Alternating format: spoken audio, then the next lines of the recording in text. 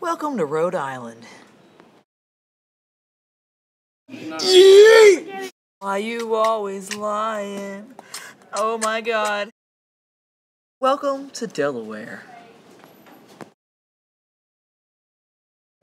Are you sick of plain old Europe?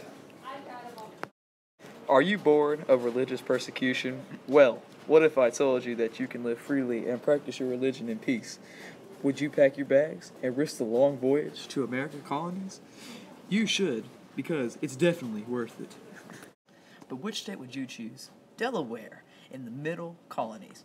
This region is one of the most best for farming with fertile soil and a milder climate. You will prosper with wheat and other cash crops.